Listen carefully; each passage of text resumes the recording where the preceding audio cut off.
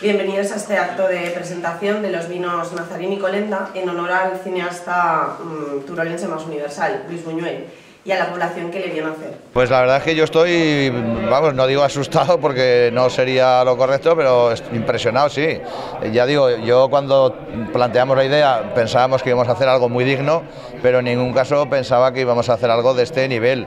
Y las ventas, por lo que me dice la bodega, me decía ahora que el representante, quien lo va a distribuir aquí en la comarca es Coalsa, que ha estado por Calade, que le ha dicho que le mande más porque ha hecho corto. En el CBC hemos vendido 25 estuches este fin de semana prácticamente sin hacer publicidad y en la bodega creo que van ya por más de 800 unidades.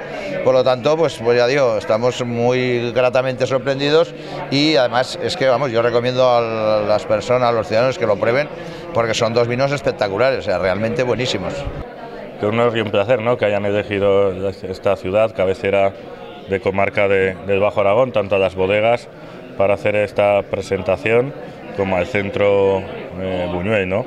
Eh, yo creo que, lo decía las jornadas nacionales, ¿no? la comarca tenemos que trabajar en, equipo, ¿no? unos municipios destacan por unas eh, cualidades, otros por otras, y lo importante es al final que todos salgamos eh, fortalecidos. ¿Qué querrían tener algo novedoso que ofrecer pues para sus festivales de cine, para sus clientes, para la gente que viene a ver el CBC. Entonces expusieron la idea de por qué no tener un vino que hiciese referencia a Luis Buñuel, que Luis Buñuel, pues si por otras cosas también se le conoce, era un, un gran catador y bebedor de vino, pero no bebedor de vino, sino de persona que disfrutaba del vino.